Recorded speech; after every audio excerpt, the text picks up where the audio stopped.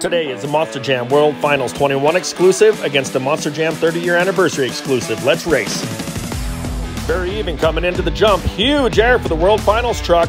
Good going over the crush cars.